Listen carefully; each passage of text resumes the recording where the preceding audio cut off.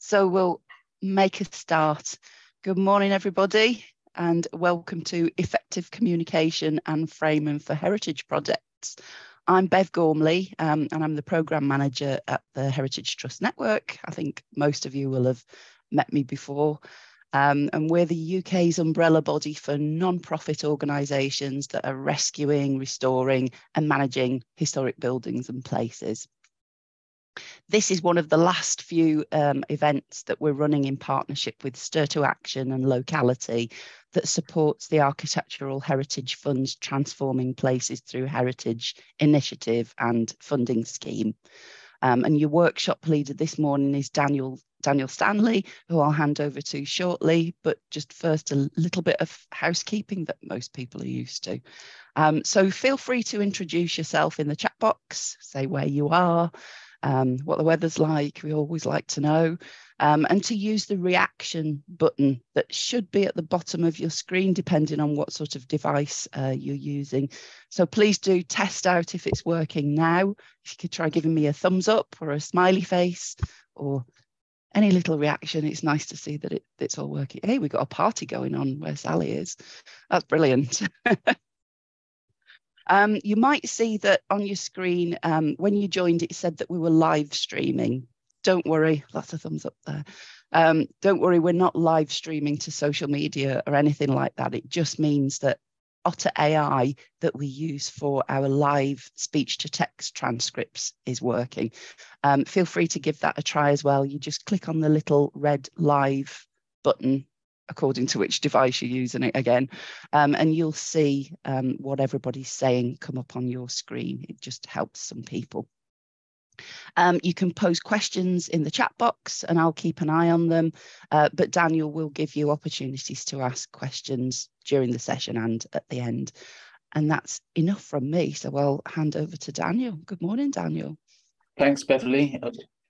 Yeah, thanks everyone, Beverly, and uh, thank you everyone for coming. Um, yeah, I mean, a lot of what needs to be said at the beginning has been covered already. So I'll, I'll get straight into it, I think, and and I'll, um, that includes telling you a little bit more about my background and uh, yeah, explaining a bit more about what we're going to um, do today. Um, I'll share my screen. Um, one of the downsides of that is that I, I, won't be able to see the chat as easily. So if there's a delay in in um, responding to something in the chat, my apologies. But I think Beverly's going to kind of make sure I, I, see anything that comes up. But do feel free to ask questions as we go, and I'm very happy to kind of um, stop and, and kind of discuss certain points. You don't need to wait till till the end of any point. Um, I definitely think that the you know, given all the different sort of perspective and experience we have in the room, a big thing I'm trying to do today is kind of get you to hear from each other as well as for me. I don't certainly don't pretend to have all the answers on this topic, and um, yeah, so I think especially as as each of you are sort of working on I'm guessing a lot of you at least are working on kind of individual um, building projects rather than um, yeah you know the overall kind of work that we've been doing that there's certainly things that that you'll bring that, that I don't have as much perspective on. So so really keen to, to bring your your experiences into this.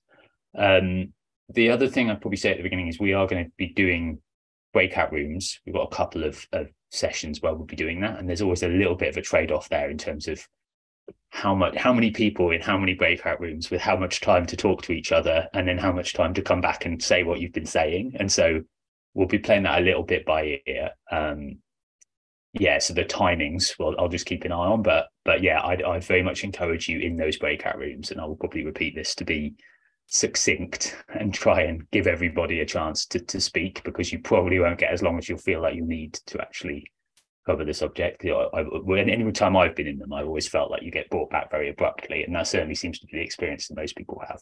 Um, but hopefully, you'll get a chance to start to, to discuss stuff and then come back. Um, yeah, but with no further sort of intro, I'll get straight into start of session.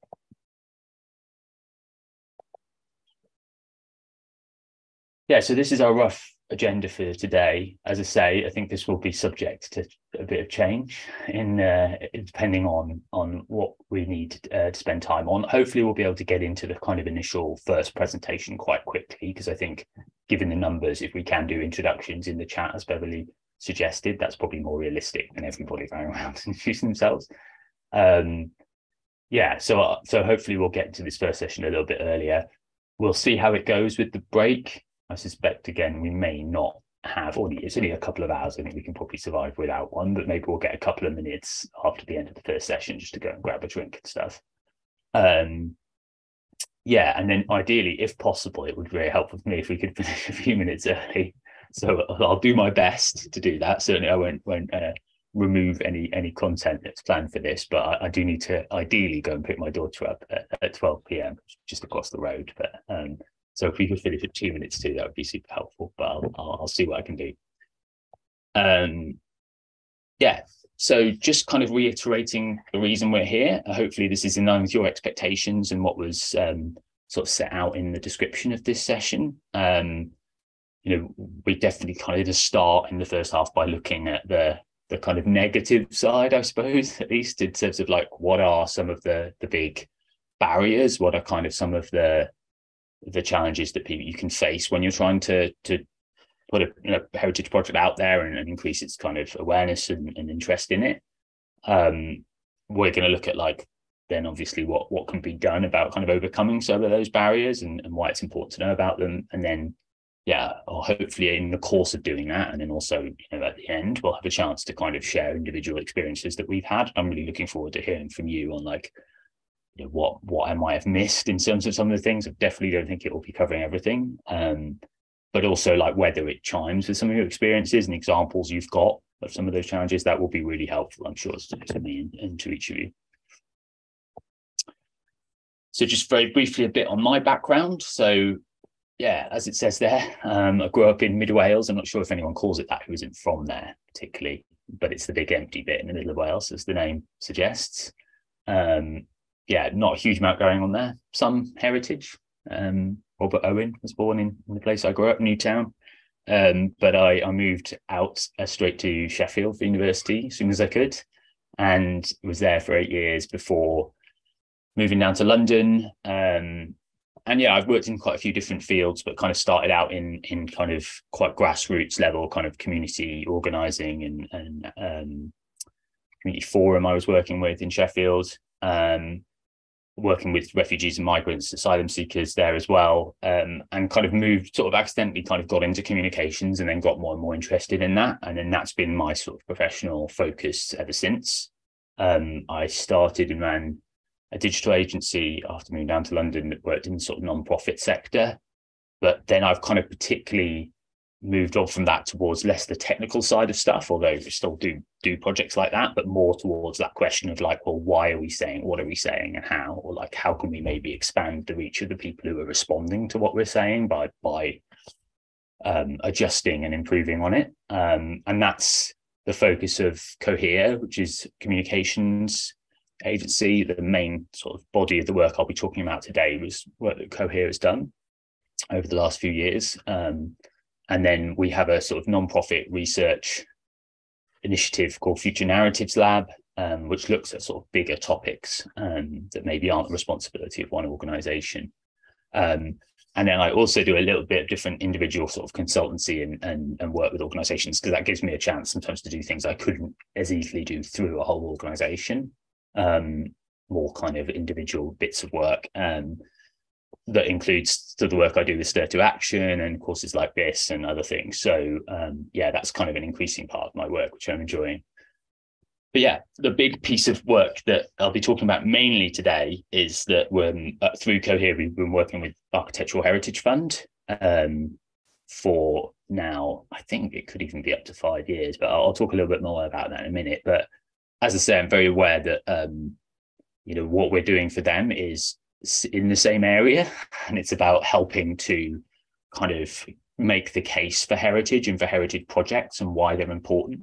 And a lot of that is then taking the case studies of these individual projects and saying why people should be interested in them and what they represent. But it's not exactly the same thing as sort of supporting individual projects with it. So you know where there are gaps that's the reason. And i'm very keen to hear from you on the things you think are and aren't relevant about what we've learned um, and see that so introductions wise this is the bit we can slightly skip by in the sense i'm just going to say please type into the chat if you haven't already who you are you know what organization you're from in what area of the country Um, and then, yeah, I think if there's any particular challenges you've seen in from a kind of communications point of view, I suppose, in in persuading people of the value of your project or of heritage or particularly good examples. Um, probably won't be able to go through those as much as I'd like to at this point, but um, yeah, do add those in if you can, and then obviously they'll be available and something we can potentially um, gather together and, and, share afterwards. But yeah, so that will be going on hopefully in the chat um, alongside. But I'll get straight into the first bit of the presentation, and then we'll go from that into breakout rooms fairly soon, where we you, you can kind of feedback on on what what I've said and your thoughts. Um, might be a good idea I've I've found in retrospect when you are kind of transitioning from presentation, especially the first one, straight into a breakout room. I'd encourage you to sort of like note down your thoughts as you go, and maybe also because there's a bit where I'm going to tell you the kind of main questions. Otherwise, I think sometimes you can find yourself sort of dumped in the breakout room and then just be like, "What is it we're supposed to be doing? What have I just heard?" And like, so I think it's quite useful to just take a few notes if you can, um, just to sort of get the conversation going. Um, yeah, so as I said, the first bit of this, hopefully that's all clear. If there are any major questions, pop them in as we go, pop them in the chat.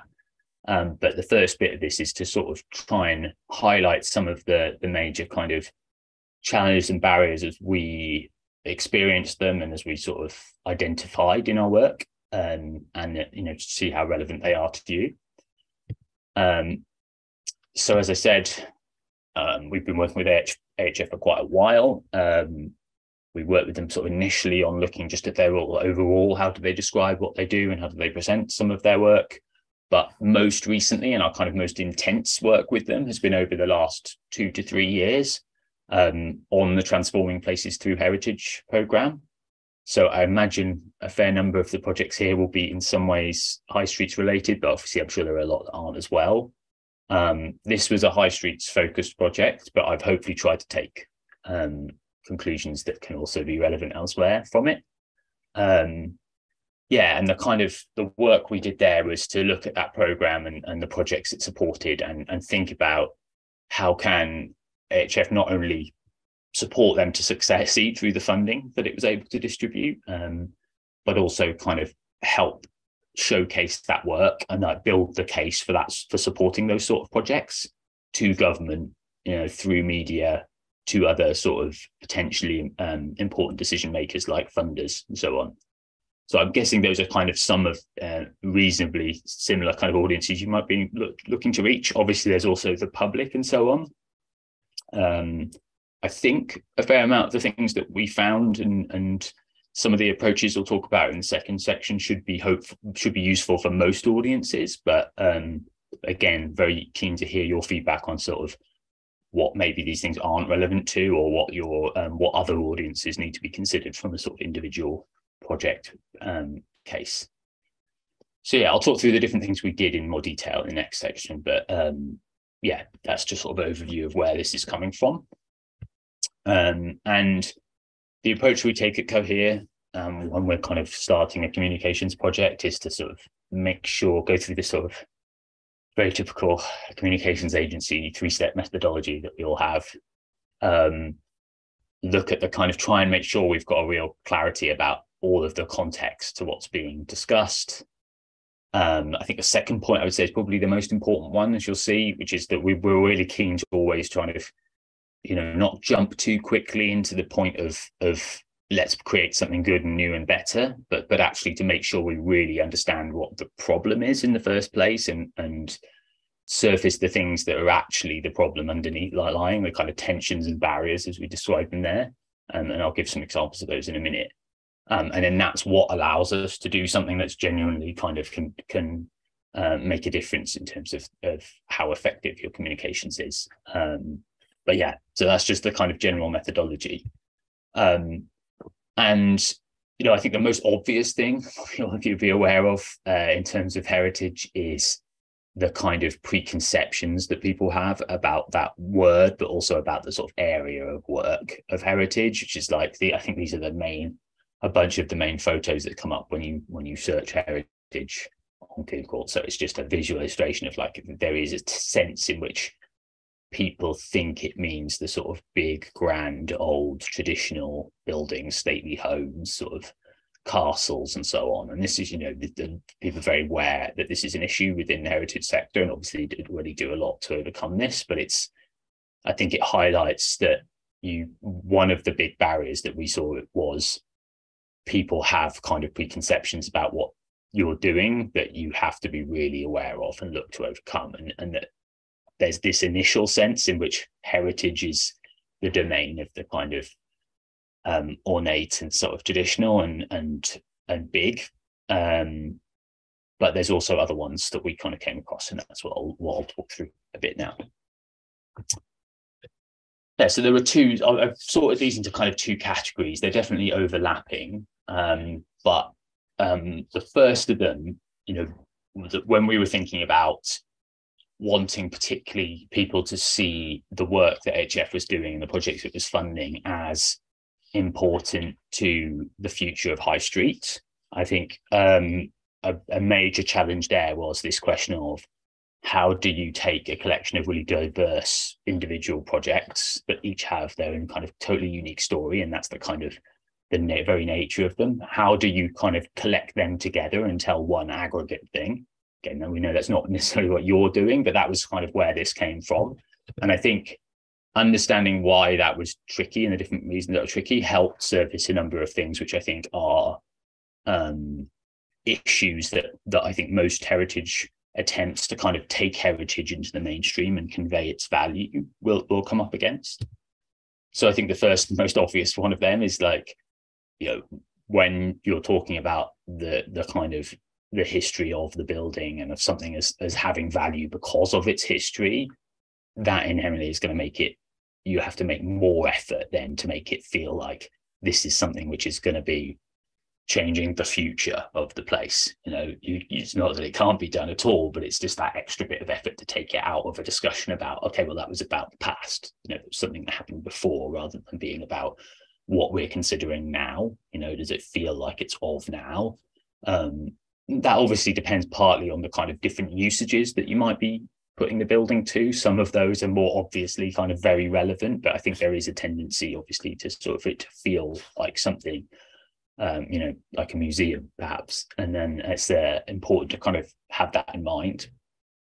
Um, definitely, I think we came across, um, particularly in thinking about like media coverage, that there was a tendency for journalists and and outlets to look at heritage as being something that was really a kind of nice to have kind of charitable arts endeavor that it was something that you know you'd philanthropists would sort of back out of the goodness out of their hearts but it wasn't something that you you know saw as as part of the discussions about you know what was going on in the local economy and and that was a challenge for us with high streets particularly because as we'll talk about in a minute the high streets discussion is one about economics. It's like national economics. It's about, you know, numbers of um, shops closing across the country, percentages of drop in footfall and things like this. And um, because, you know, heritage as an area and sort of heritage buildings tended to be seen as like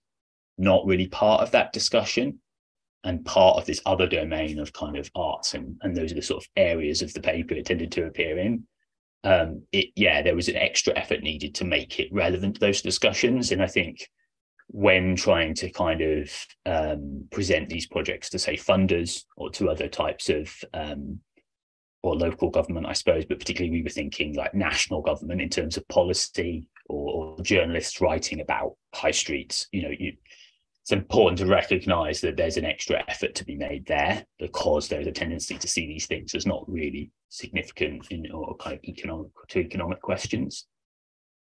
And that, you know, that crosses over a lot into this next point is that, you know, there is a sense that these things are um, as they are often, you know, because they're important parts of a local community, that they're really of local significance um, and not something that you could say is happening nationally. And I think that that kind of again, these are all interrelated, but there's there's a very there's a specific thing that challenge I think with heritage projects when you are trying to say heritage as an approach, or you are trying to say this is something that could be nationally significant and sort of in aggregate it's really tricky because the very thing that makes them special is that they're all unique and they're, they're all from each kind of particular area and have a kind of particular story to tell. So once you try and sort of merge those together and say what is unique about all, all of them together, you know, it, you kind of lose something of the kind of thing that makes them special. So I think that was a kind of core challenge that we identified there across those sort of last three points. Um, of you know how do we retain the kind of the value that we see in them and, and be but be able to convey it in an aggregate way. Um yeah and finally i think again and, and this is but again perhaps more of a, a, challenge when thinking about the putting them all together and, as a package but you know it is um i don't think there's a lot of awareness of just how many heritage buildings there are across the country and what a opportunity that represents. You know, um, and we'll we'll talk about why sometimes it's not seen as an opportunity in a minute. But yeah, that was definitely something that we've struggled with and we continue to because I think the data is not fantastic on this either. And there, there is there's sort of data on at-risk buildings, but in terms of understanding just how many kind of amazing buildings, heritage buildings there are all over the country that could be transformed and, and used into sort of um, put into more innovative uses and what difference that could then make to the country as a whole, that's not something that's clearly understood, and that perhaps um, means there's not as much investment as there could be into these into these buildings. Yeah, hopefully those are all clear. Um, so yeah, this is this is a slide that we I took from from actually the strategy that we put together originally, and, and sort of says a lot of the same things, but kind of I think boils it down into like that question of like when we were trying to say we want to influence the way that the the government and funders are thinking about the problem of high streets um where is the challenge in terms of making heritage part of that conversation i guess? And that's where you know it's where the funding was and where some of the funding is you know? So i think you can see how you know there's there's a there's an, a whole set of associations and, and assumptions about these two areas um, obviously, there's exaggeration here in each case, but like this is why why it's difficult. You know, this is why it doesn't land straight away if you're trying to kind of pitch to say that these things are connected. Um, and that yeah, we kind of very early on were, clear that this, this was one of the barriers that needed to be looked at and, and and we need to be very aware of in designing what we were doing. Um, yeah, and then so the second set of of of challenges I'll talk about are maybe less to do with the sort of influencing kind of policy and, and thinking about um, the relevance of these projects to sort of contemporary debates and more about I think kind of inherent issues that are are challenging about communicating um, in this area and, and maybe closer to what you might have experienced um, with individual projects. So I think there's a you know the fact that there's a building at the heart of these things is just a pretty basic point is um, I think that you know there's real pros and cons, and, and and if we're talking about challenges, I think you know the cons of that are that that can tend to become dominant in how it's sort of presented and discussed. There's sort of a, you know every, everything's about the building as a as a thing as an object, and um, you know visually sometimes the buildings are often the buildings are really beautiful and unique, but there's only so many photos of a building that can be interesting you know? It, it can be very it can become a kind of sometimes a bit like of a of a barrier to people really really engaging with other aspects of the project sometimes is, is what we've seen. Um and yeah again a thing just to, to have in mind. Um i think there's also and this you know this is something we certainly interacted with in relation to high streets and, and in thinking about getting people to sort of believe in the positive potential of these projects is that for a lot of people um, it's difficult for them to envisage um, a big building as being contributing wealth and, and prosperity to an area as it can when it's being used and that there's an assumption that it's always inherently a kind of drain on resources something that will need lots of ongoing income to support it now, of course, a lot of places do need some going income to support it, need some form of income to support it to pay the bills. But the assumption that it's it's yeah, I, I maybe that's just a general pessimism in the economic climate, but I think that there's a there's a challenge that people start from the point of view that that it's it's hard to it's really maybe even unrealistic to expect um, that you can just take a building that was once say de- derelict and turn it into a prosperous thing that's self-sustaining. Mm. And so i think kind of really eh, eh, we'll talk about later really evidencing that you have to kind of get past that assumption sometimes of people for them to then feel enthusiastic about it because otherwise it can seem sort of slightly slightly idealistic to believe to people that that's possible. Um, you know, and then a lot of people will have experienced, of course, as well, buildings shutting down and shop fronts closing and so on. And, and so their sort of reading of how difficult it is to make a, a sort of sustainable um, project or business out of a out of a building on, on the high street or elsewhere will be taken from that. Um, yeah, I think that the sometimes there's a tendency in which kind of buildings can be um, you know there is a sense of very basic level in which a kind of building is is not if it's focusing on the building it's a sort of static thing. It's not something which is necessarily kind of creative. It's not sort of showing um sort of have that energy of like you if you're focusing on a group of people or on a project that has a kind of ambition at the end of it or whatever and obviously generally speaking heritage projects are a combination of those things but when you are talking mainly about the building again like that sense of it going somewhere is not necessarily as present as it could be and that's you know something that you can address in terms of emphasizing other elements. Um yes and i said before i think particularly it is challenging to get across that sense of this is exciting and it can happen and it's going to succeed and you should want to be part of it when you're dealing with an area where people are seeing a lot of difficulty and decline and and and you're seeing all sorts of kind of negative stories. And i think it's even to the point now where there's just an assumption that the high street is dying and will you know is is not is going away. And so when you're kind of trying to insert into that sort of story of positivity it kind of it's tricky because you're you're kind of clashing with the, the dominant tone and the expectations and even sort of journalists and, and to some extent policymakers i think suffer from this in terms of not really necessarily having faith in in there being any sort of solution. Um, whereas, you know, I think what, what often these heritage problems represent is a very different type of model to what what has failed on high streets, as as, as we'll talk about later. Oh, okay. That's probably a bit. This is the longest bit of presentation in this. You'll be pleased to hear. Um, and yeah, um, what I thought would be useful just to do now is um, you know, taking what you can from that. Hopefully, taking a few notes on things that that do or don't ring true, um, or things that you feel like need adding. Um, and yeah, what I'd like you to do now is just I'll put you into breakout rooms, um, and I'll work out exactly how many, um, with how many in you in each in a minute. Um, but I'd like to spend maybe 10, 15 minutes I'll I'll work out. I'll give you a warning ahead of time. Um, thinking of like just discussing, you know, your experience of the challenges, which I'm sure you've all experienced the challenges of of uh, trying to communicate and get across to people um, why your projects are important or why heritage is important. If it's a more general experience. Um, yeah, how maybe some of the things that I've just talked about have kind of manifested themselves in in just in practice in terms of people's reactions like what kinds of audiences have you found have been particularly difficult to engage or, or resistant?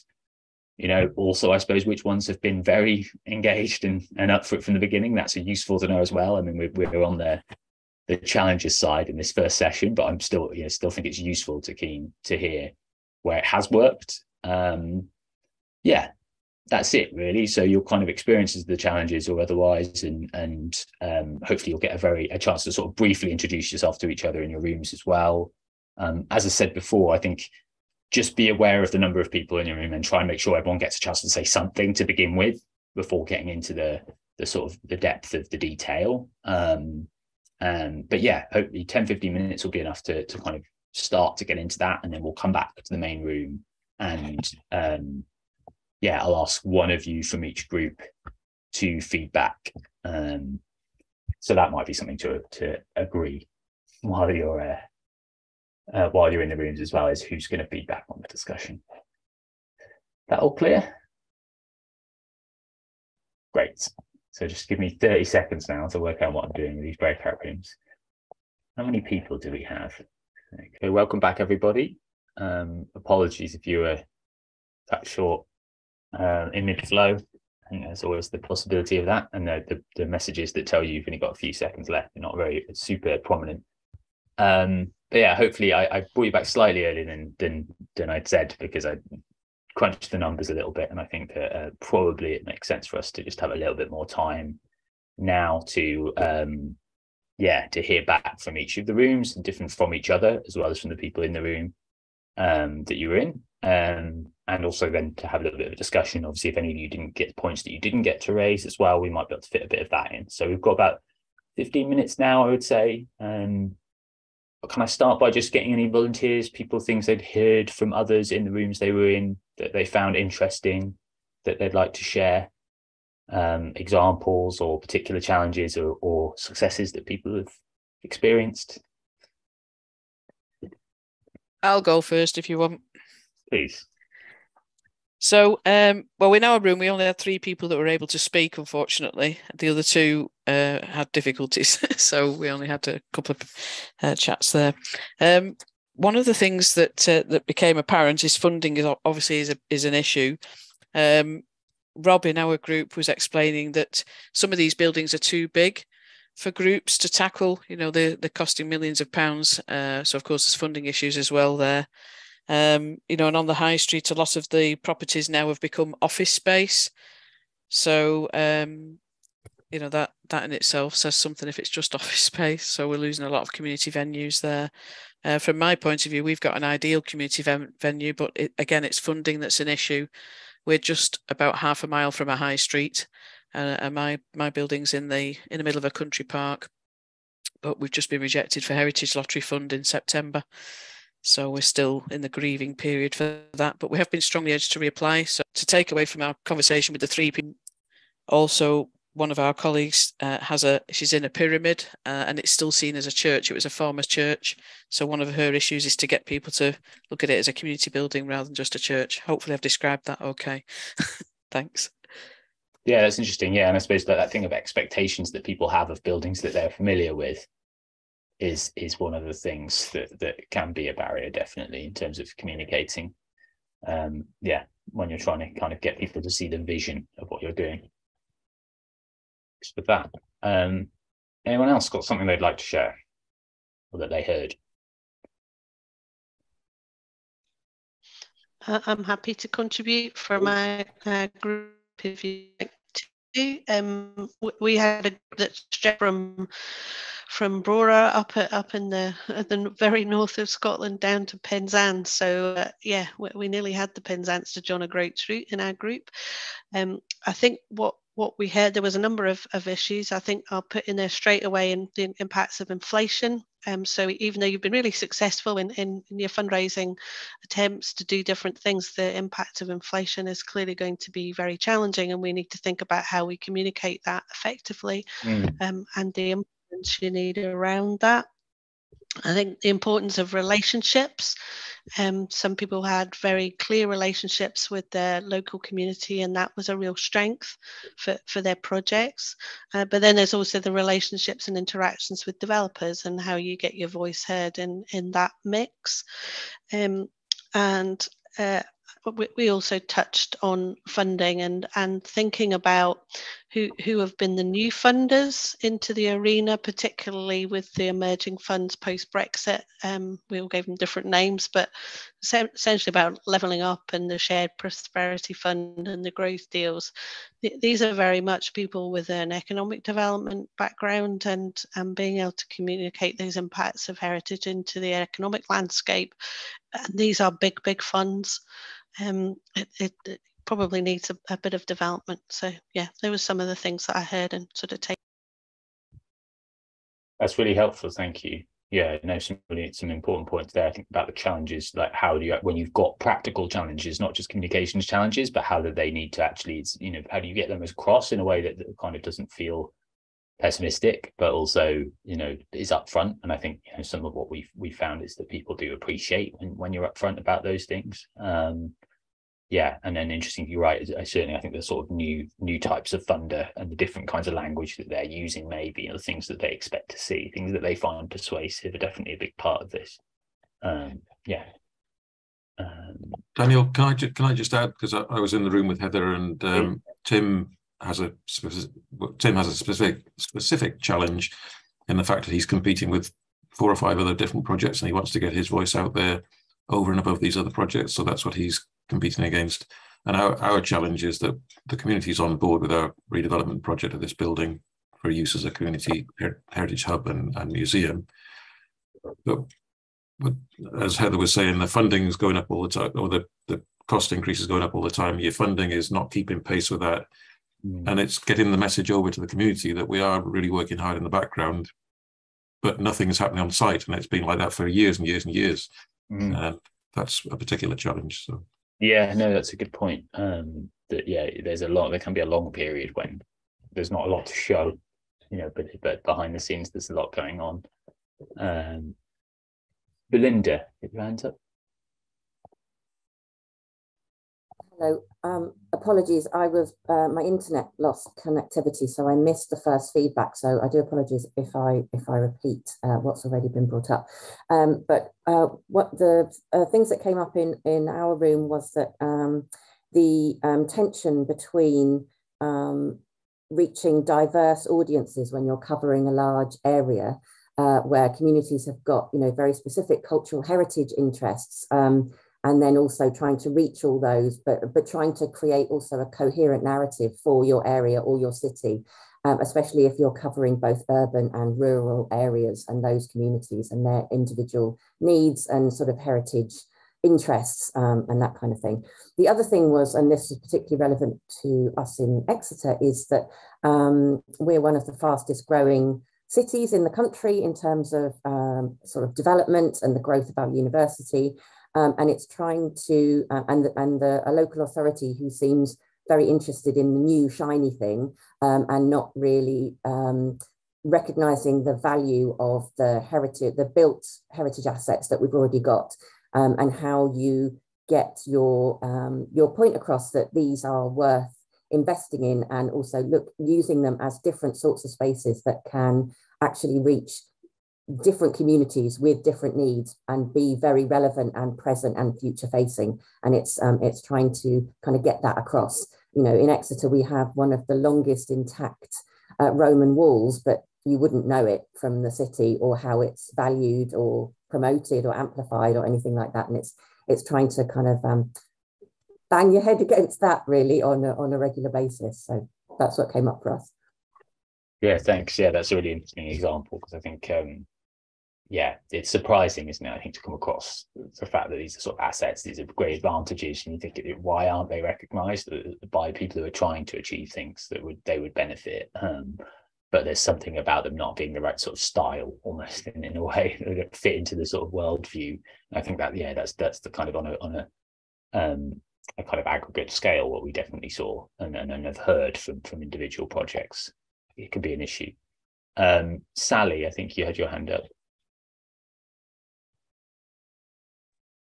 Yes, hi. Um, this is um, totally not my idea, it was, but it was something that I found useful that came up in our group session um, with Stuart, Catherine, Beth, and Rita. And I think it was something that Rita and, and Catherine were talking about, um, mostly about sort of changing the narrative of uh, heritage buildings being not for profit in the in a way yes yes they are not for profit but also they need to um, be sustainable and they need to become social enterprises and to make money in order to keep going. Um, and I think the phrase that um, Catherine might have used was profit with a purpose, which I particularly liked.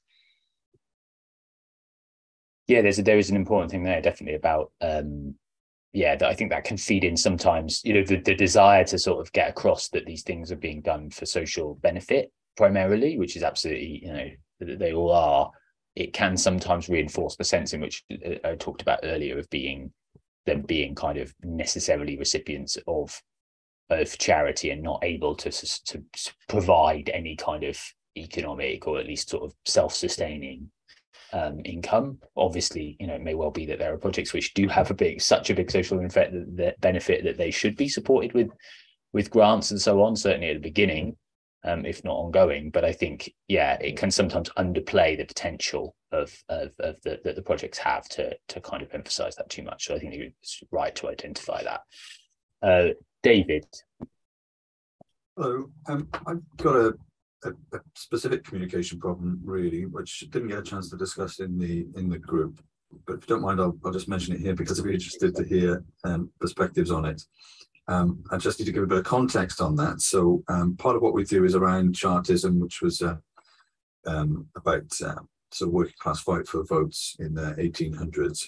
Um, we have uh, use of the Westgate Hotel, which is the site of Newport Rising, which is where 22 people were, were killed fighting for the vote. Right, uh, that's the sort of that's the heritage aspect. There was this whacking great mosaic in Newport City Centre. It was huge, and it sort of told the story of um, uh, all of that that fight and what it was about. Six points of the chart, that kind of thing.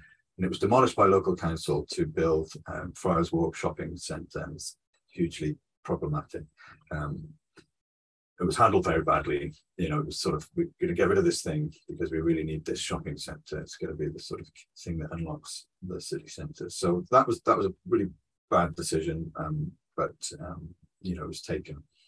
And unfortunately, now what happens is when we try to do any sort of communication around Chartism or you know any of the, the stuff which is you know what the charity's interest is about what we what we get is a lot of backlash about the mural, which was clearly nothing to do with the charity. We're not connected with in in any way, and all of a sudden, then the discussion becomes about bashing the council. So it's sort of been politicized a little bit. Um, you know, so people are using it to bash the current Labour uh, council. Um, so and and as a, as we're connected with the charity who is sort of apolitical so we're about the the heritage we're about the political aspects of democracy, but never sort of party political. We have to do this sort of careful dance sometimes of what we can and can't comment on. And a lot of the time, some, some of the stuff, the events we do, gets lost in the noise of this. Um, yeah, this this um, bashing the current council for the head, who you know certainly aren't perfect, but um, actually aren't really connected with this story anyway. So how how we get around that, um, you know, or if anybody's got any insight into um, how they might deal with a similar problem, I'd be very interested to hear.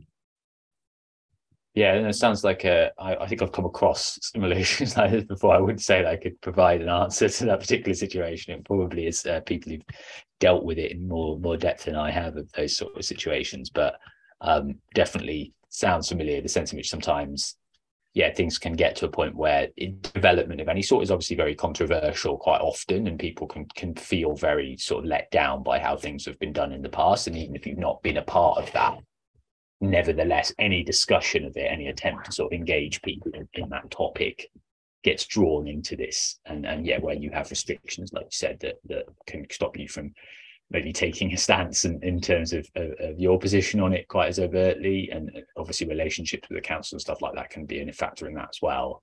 Yeah i can see can see how that can be can be challenging. And and you know i suppose the the, the very sort of general perhaps an unhelpful suggestion i can make this point is is about thinking about how do you take the conversation into a space that's you know that feels like not part of that at all you know is there a way that you can make it about some other aspect of what you're doing or some sort of activity where that just feels like a whole different arena? You know that's a very easy thing to say not an easy thing to do but but but i think that's often when you get into these sort of uh, divisive issues you know you you need to not yeah to try and change the conversation you know if you can. Um but yeah like i say easy easy general piece of advice to say but hopefully there'll be someone else here. Maybe you can connect with and might be able to give you some some uh, points on that one.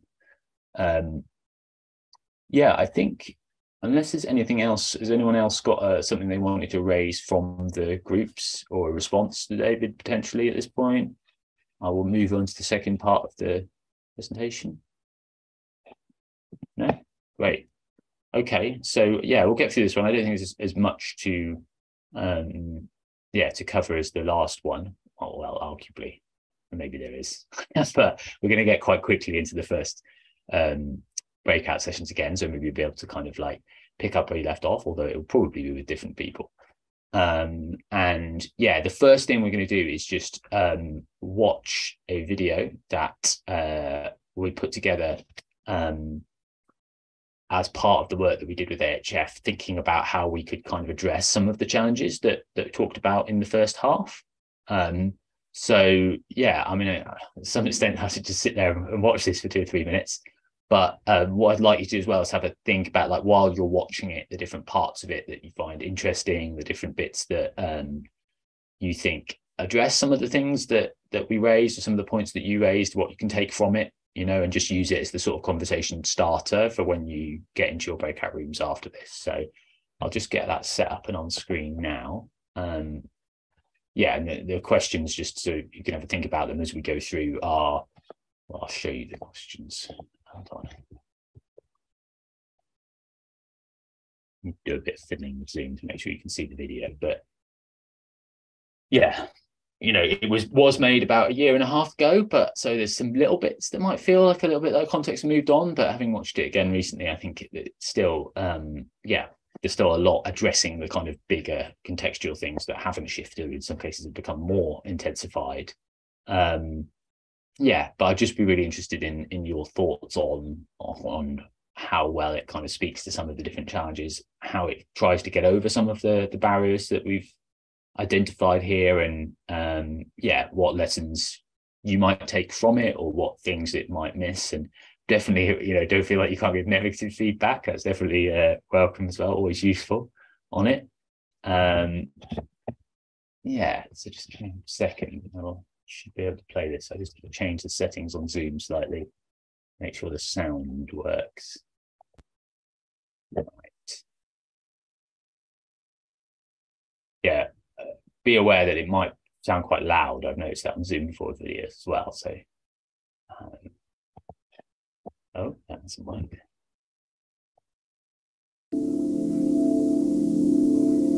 Our high streets and common spaces face a moment of profound change. The era of identikit retail, focused on short term profit, is coming to an end. Now we all face the daunting challenge of what comes next. But in towns and cities all over the country, an untapped power exists. The buildings that tell the story of our communities those unique places of character and identity could now help transform them. Unlocking this power is not simple or easy.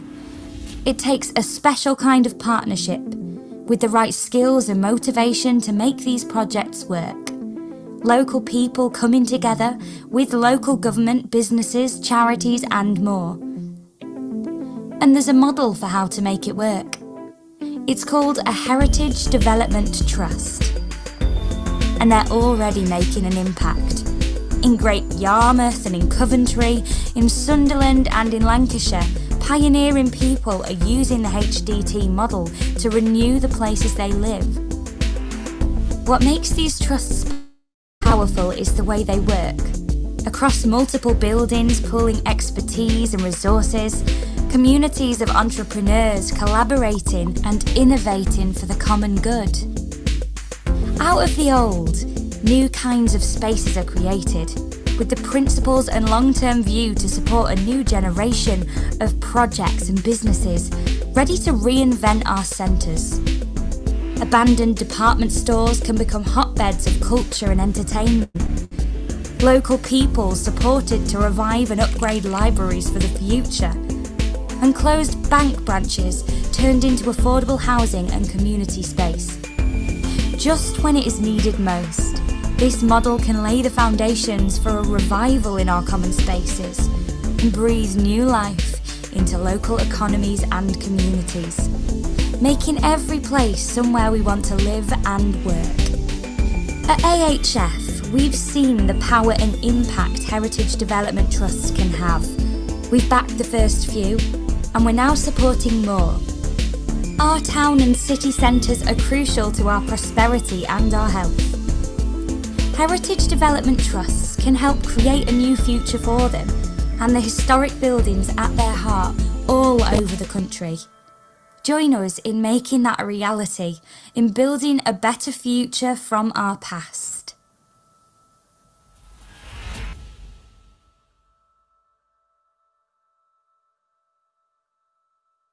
Oh yeah, so I mean, there's a few uh, aspects of that that obviously you know um, are worth saying are not specifically going to be kind of the the things that you're looking to work with. Um, it was very focused on it's like an advert for AHF to some extent.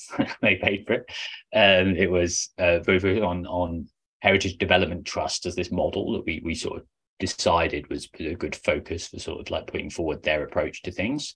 Um, and yeah, looked a lot of high streets, but hopefully within that, it also packed in a lot of other stuff a lot of other kind of different ways of talking about these projects that you can see sort of um, responded directly to sort of the challenges we identified that needed to be overcome. Um, so yeah, I'll, I'll, as a just sort of a conversation starter. Um, yeah, hopefully that was useful. And what we'll do now is just pop you back into breakout rooms. I think I will probably randomize them again.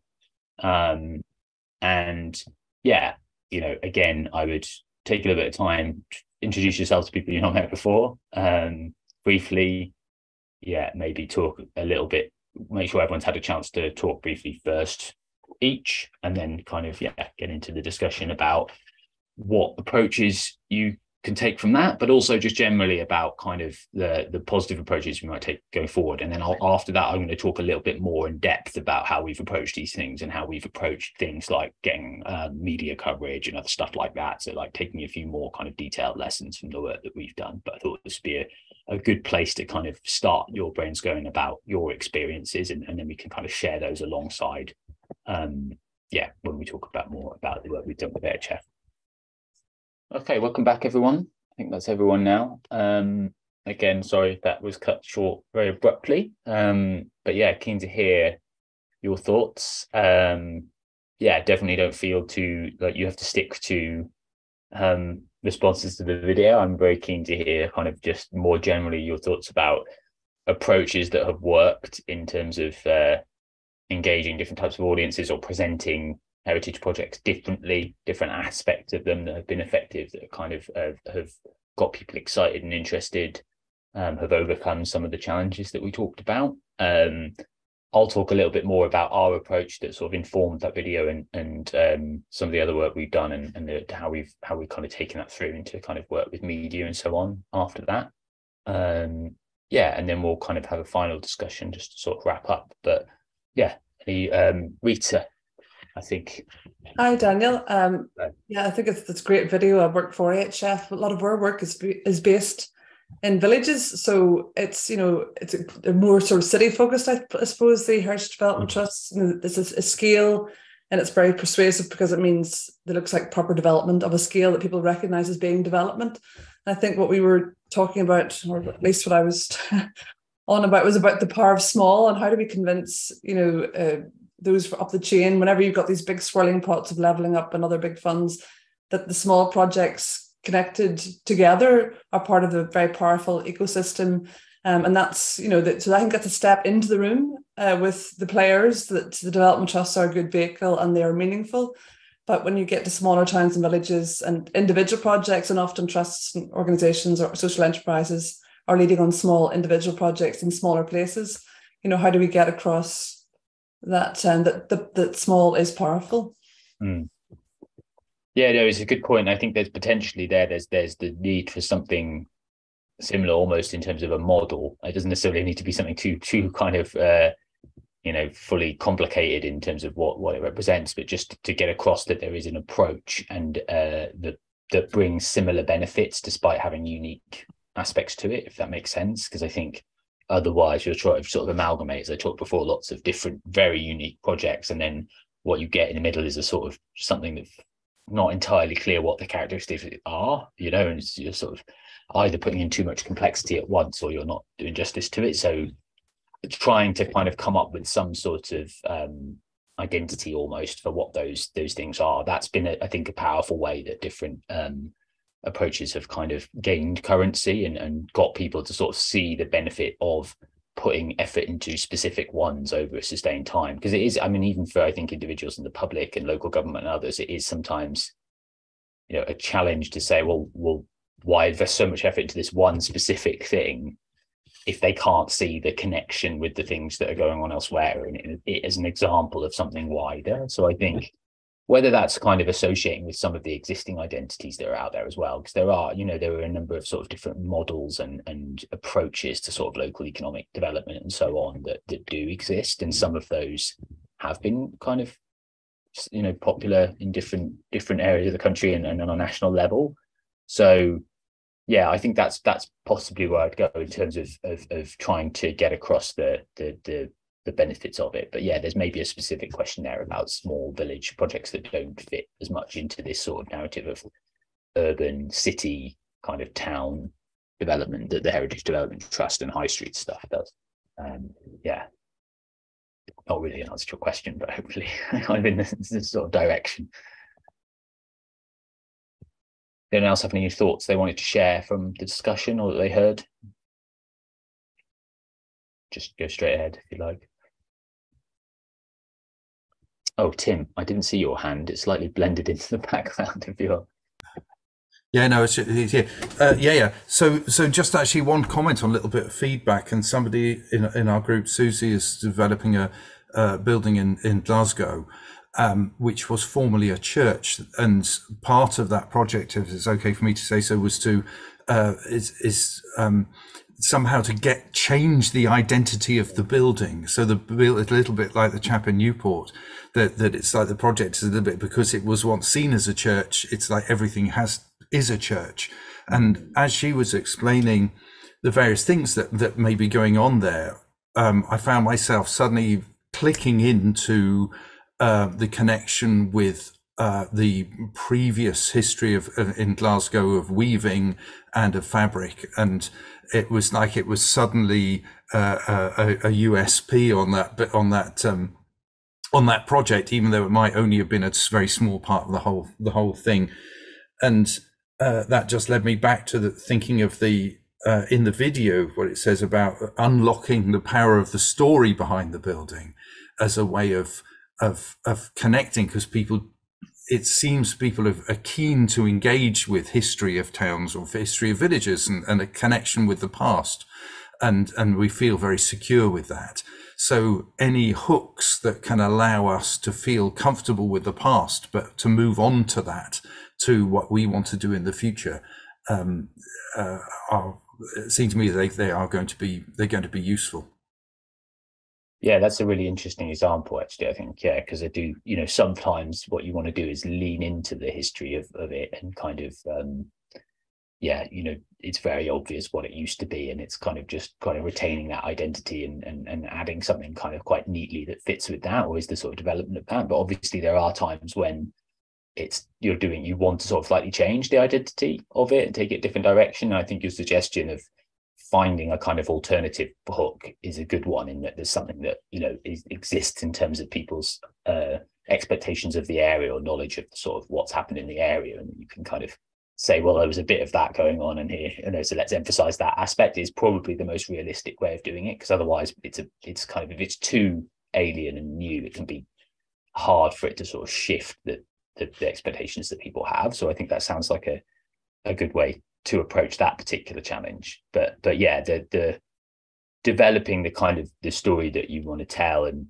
you know we'll talk about this a little bit uh, towards the end but i think there's a there's a benefit also I think we found to when when you're doing something surprising in a building to emphasizing that you know so if it's a, if it's an old building that was used for something else and then you're using it for something very different now you know that's something can often be uh, you know make it memorable and make it interesting and so bringing that to the forefront even if it's not the main usage and you know a lot of communications i find is about sort of being comfortable with being selective, you know, because you mm. know the the the the full complexity and you may know that certain elements are actually more substantial but that you you need to be comfortable with selecting bits of it that, that are actually the one and making those the, the, the forefront even if you know they're not maybe the the as big a part of it and you want to tell the full story Um, but certain bits can work better than others when emphasized. So, and that's kind of an example of that. I think that works well. So, um, Sally. Yes, hi. Um, I actually just thought of this, so it, it didn't come up in our um, group meeting, but I was wondering, uh, just a question to everybody really, what kind of data are people using to inform uh, and drive their projects? Um, uh, very very broad question but I'm, I'm just kind of curious is it stuff that you've collected? Is it stuff that you have any kind of regional or national um, surveys that you have access to? Uh, yeah just open question i guess. Any immediate responses to that? I mean this something you could always post into the the chat as well as you go if people have been thinking about that Jane, I'll, I'll, pass over to you and, and whether or not that's your you're responding directly to that. But yeah, if anyone else has thoughts about the data they're collecting, suggestions, then do do post those, please. No, sorry, Sally, I'm not resp- responding to you, but we were cut off just as I was uh, in our breakout room, just as I was asking Rita if she could give us the website for Village Catalyst. She talked about this, and I was wondering if there was a website that we could have if she could put it into chat. I'll send you a link to the HF's. It's a cross-departmental partnership, but our particular um, news piece on it, I'll, I'll send a link to that. Okay. Great. Thanks, Thanks. very much. Excellent. Okay, I think with that, what I might do is just dive straight into. I've got a few more slides to talk through, and I expect they might provoke some more thoughts and, and feedback and conversation. I'd be really keen to hear that and save as much time as we can for that. So I'll, I'll get straight into that, and then yeah, we'll just sort of have what I would imagine would be the last 10 to 15 minutes um, to sort of, yeah, talk through any kind of of your thoughts on those uh, additional suggestions you've got or any any kind of specific maybe challenges that you're having that it might be worth trying to to give some feedback and input on from the group. Um yeah, so just give me one moment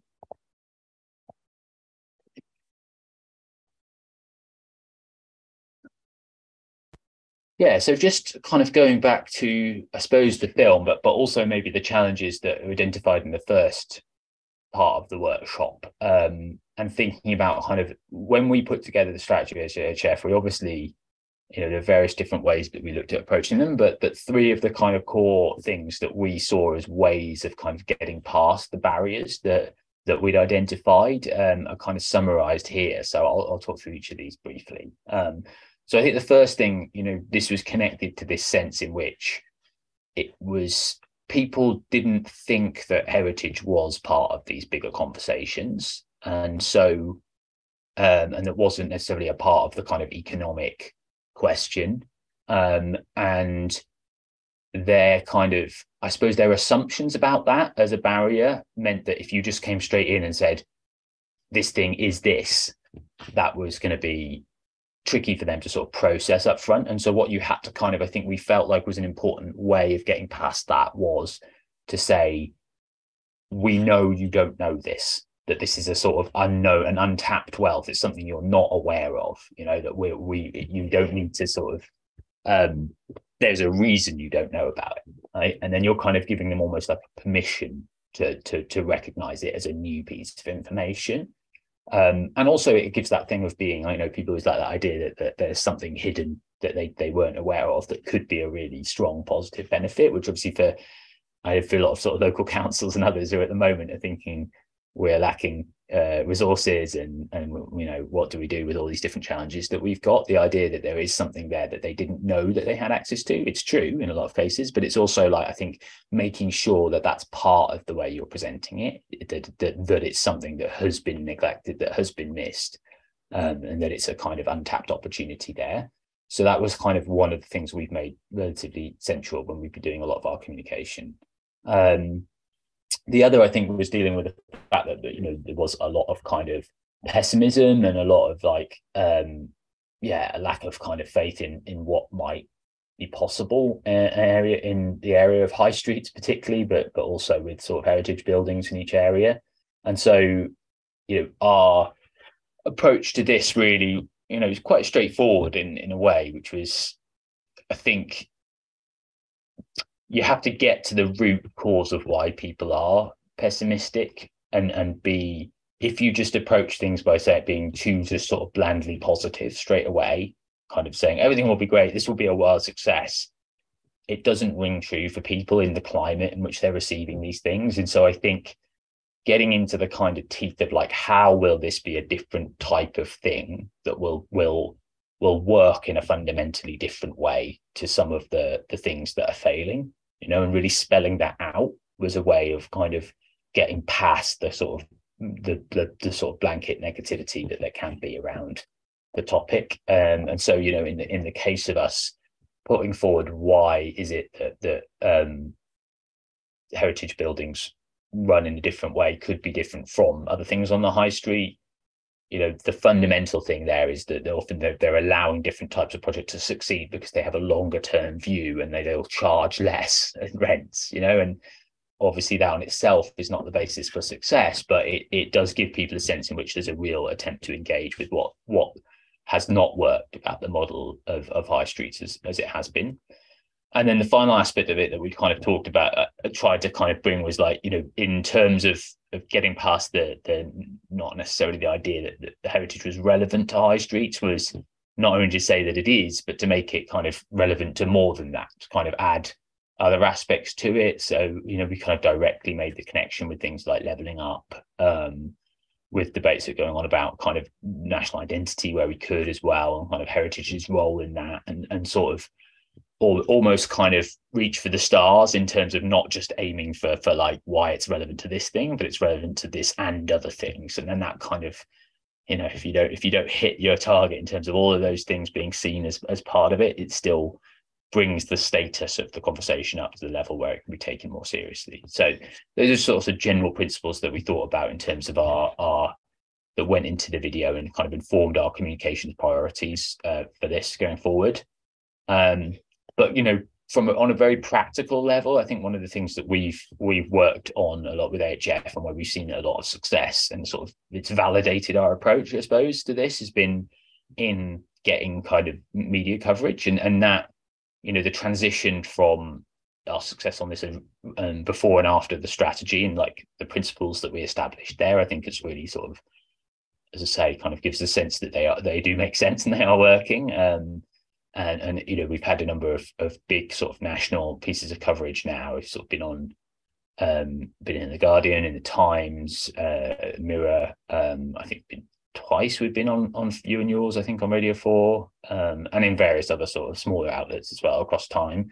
And you know they've had different focuses but i think what we've what all of them have probably had in common is tying into a kind of something that's happening at the moment that's a sort of topic of ongoing concern and with high streets that's often been dialing into a particular kind of building so every now and then you'll get people talking about kind of um, bank closures or talking about department stores closing down or other things like that.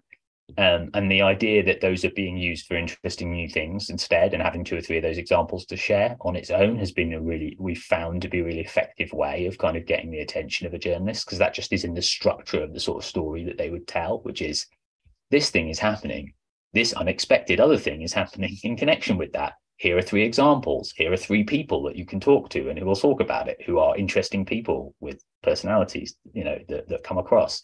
And that that sort of basic structure has just been very, very effective in in um, yeah, in, in getting across what we were trying to, which is the sense of, of sort of progress in this area.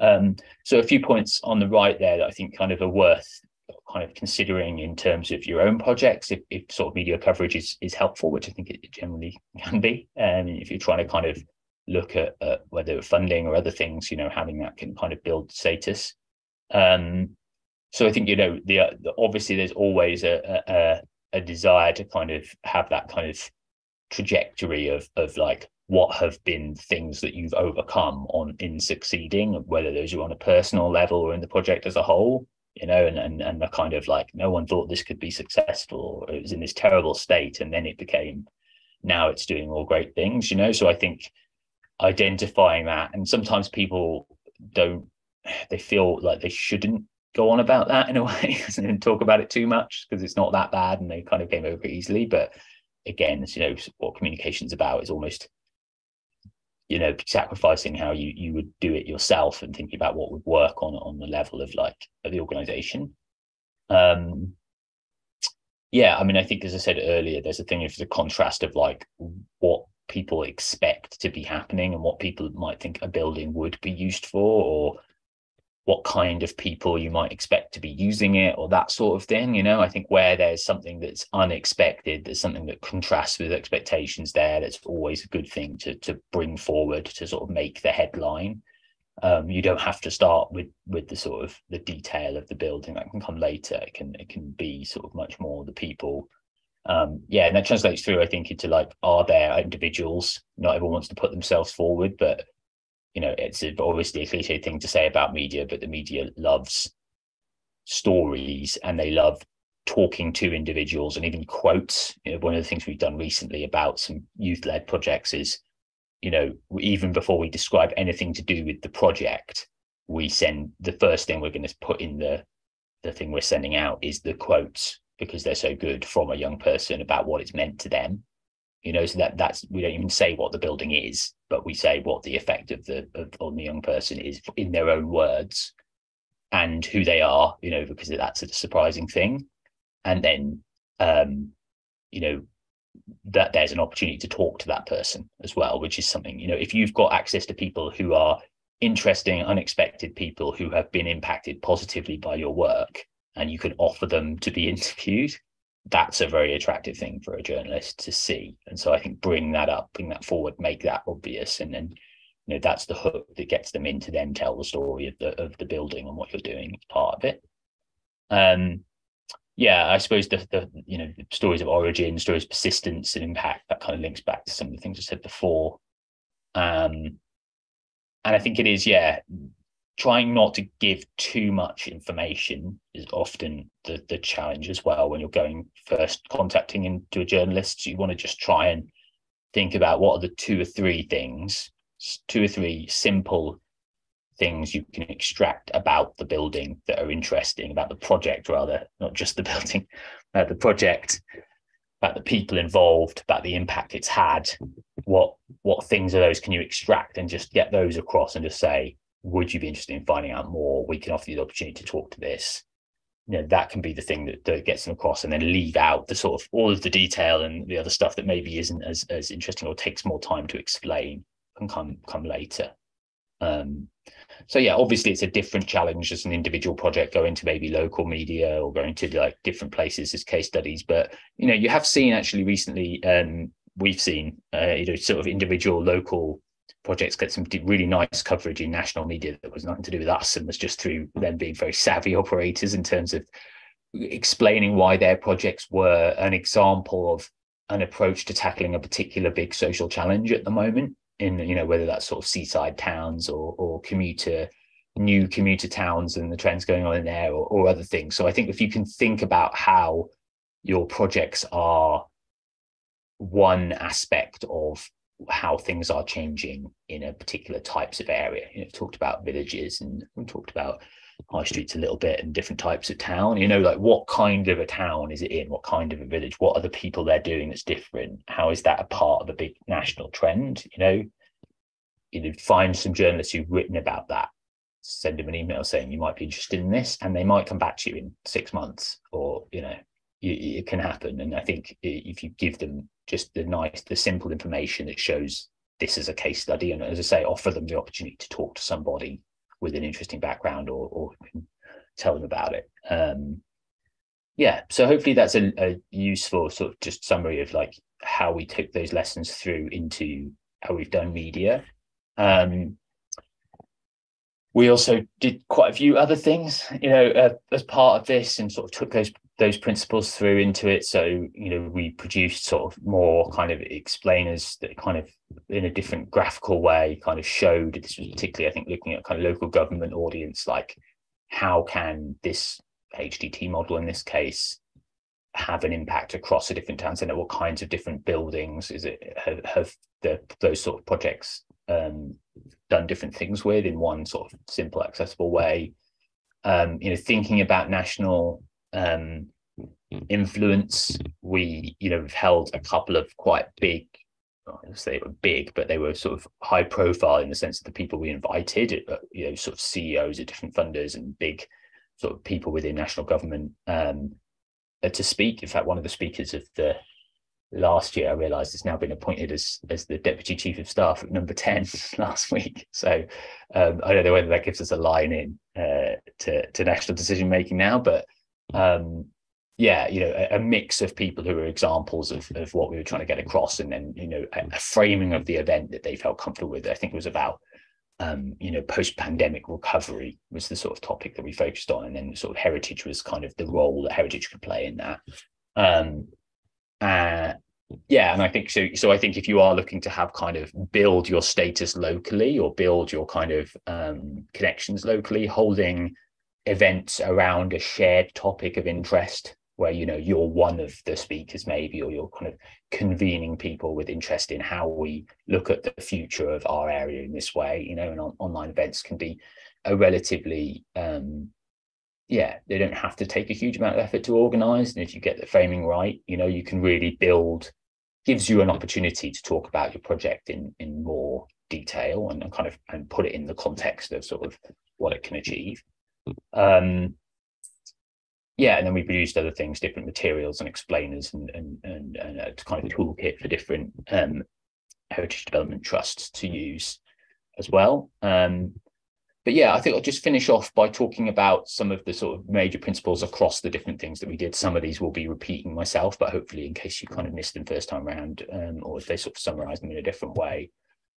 So I think, you know, again, it's it's a simple point, but it bears repeating about personal stories, you know, where whether it's in the sort of building's origins and who was originally working there and who was originally in that space 100 years ago or whatever or, or used it or you know how the process of development has gone and who's been involved in that from where or or the kind of impact that it's had particularly on people um you know those things are worth collecting whether that's through just some initial quotes or videoing those and they can be a really, you know, a really great place to start from in terms of, of whether that's communicating with policymakers or funders or or others.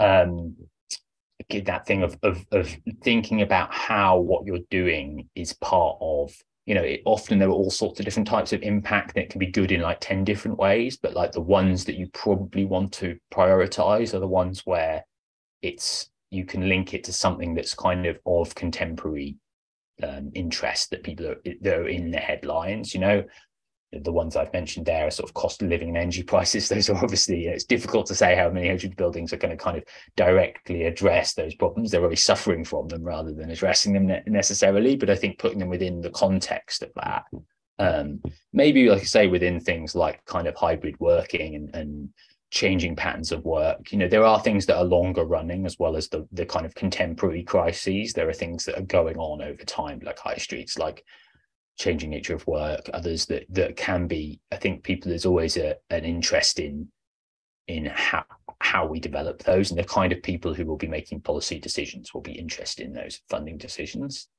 Um, look at what what the funders and, and policymakers that you're interested in are talking about is a good a good start for that.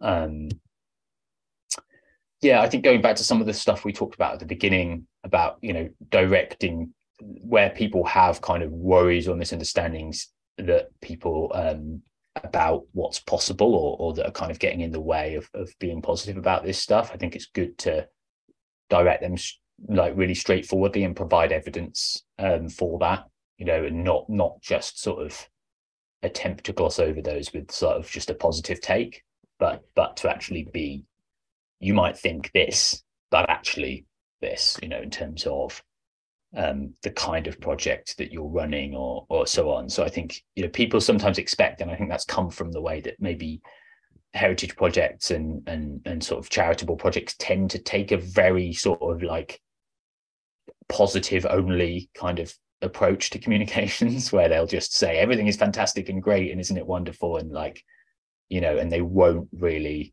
address any concerns and they won't really, you know, like that. Whereas I think that there people that that will stand out to be more kind of open, transparent. And I think, you know, this this links into this next point, which is that you know there's a there's a tendency in heritage and, and traditional stuff which i think is natural to take a kind of quite austere kind of approach to, to communications and to be sort of like quite sort of sensible. And I think, you know, to a level, that's not to say you kind of go off the charts in terms of doing crazy stuff, but I think, you know, being a bit more irreverent and being upfront about challenges and mistakes and, and difficulties and and not only when there's like a crisis and you need help, but like on an ongoing basis, being a bit more kind of like less slick sometimes. Or maybe slick's not the right word, but like I think, yeah, just just I think people like to see that it there's there's that there's like dilemmas and difficulties and then they're trying to you know they're to see inside that it's a challenge and as it's ongoing. Um and that can be a way of like bringing people into the process as well i think um, as you go um, rather than kind of just pretending everything's going smoothly throughout at every point.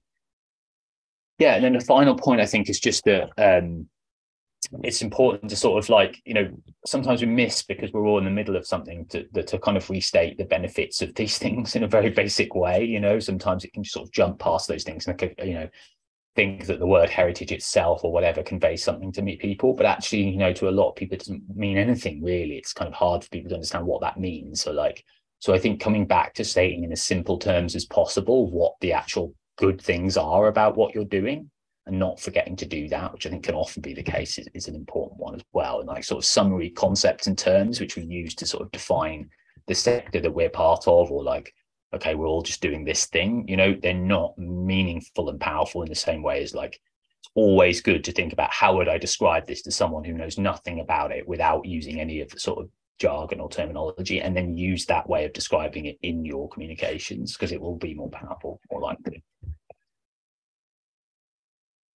Yeah, so there's some sort of just a few summary points in terms of um, the presentation today. Um, yeah, just to finish off, then, would love to hear anyone else's kind of thoughts that as they've been going through things they've heard in the discussion, suggestions um, to add to those. Yeah, and then we can kind of uh, wrap up for the day. Amanda. Hi, can you hear me? Yes. Oh, brilliant. Sorry, I'd had to uh, log out and log back in because I was having trouble with Zoom. Um, yeah, it's been really, really interesting. So my background is I've got um, a background in construction, but also um, in, in law and um, managing project. I'm also doing um, a master's in conservation at UCLan currently. And what I found is whatever sort of side I was working for, whether it's for architect, developer, contractor, or homeowners or building owners, um, that there was a massive um, lack of true communication. So one of the one of the main things that I do now is specialize in construction mediation, and I always think with things like this that people have talked. I've been reading group chat as I was obviously trying to log back in and sort my laptop out, but that where people talk about um, not being able to make the other side understand or be heard, or it can become a little bit conflict. And I think sometimes it doesn't have to raise to necessarily conflict, before you know the mediation can come in and be the go between because sometimes we don't want to say things to the other side that if a third party's saying.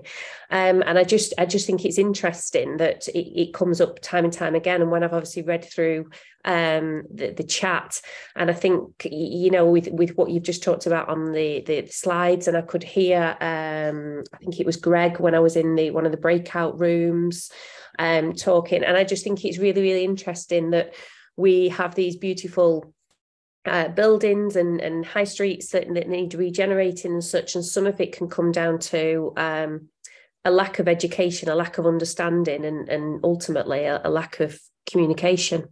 But thank you for today. It's been really good.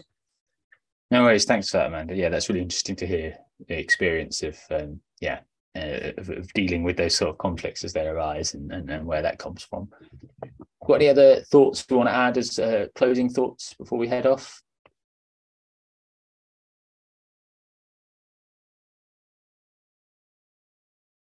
No? Thank you very much. Um, that was really great. yeah. Yeah, well, thank you. Thank you. I hope Very it's been, I think these, you know, in a couple of hours, it can only hope to be sort of thought provoking. I think is the most you know to do rather than giving any kind of comprehensive answers. But yeah, I hope you can kind of take some of that way and and, and sort of come up with different ideas, things to try out. you know, as much as anything else, because it's very aware that obviously in different contexts, there's lots of different things you're dealing with and different kinds of audiences and, and so on. So, so yeah, um, my email address I'm sure can be shared with you. I can, I'll stick it in the chat now. Um, and yeah, very happy to have a chat or if there's any kind of specific issues you'd like, things you'd like feedback on or whatever, do you feel free mm, to drop me an email. Um, sure about that yeah, no, no, don't worry. I mean, that'd be brilliant. Yeah, I, so I find it nice to work on stuff where it's just a matter of like feeding back and thing, and it's not, you know, mm. and I'm not being contracted to do anything. So I'm very, I'm always. Yeah, we've got some good videos and stuff. I'd love you to see and Village Catalyst and stuff. Be really interesting yeah. to get your take on it. Yeah. Yeah, absolutely. I'd be happy to. And yeah, any so any any specifics or, or questions, things coming out of the presentation that you wanted to double check as well. Um, yeah, very happy to to to follow up on that stuff. So yeah, just drop me an email and um, yeah, otherwise, uh, enjoy your afternoon.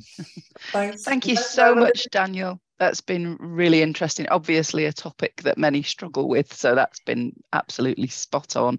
Um, just to remind everybody that it, it has been recorded, so if you want to share it with any of your colleagues, um, I'll I'll be sending the link out. It'll be in the next couple of weeks once we've we've edited it. But please do go on to Toolkit. I have to keep reminding everybody it, there's so much information there. Um, it's a real gold mine. Um, if you've forgotten your login details or you don't have them, do get in touch with me. But thanks again, Daniel. That's been brilliant. And thank you, everybody, for joining us this morning. See you at the next one. Thanks all. Bye. Bye.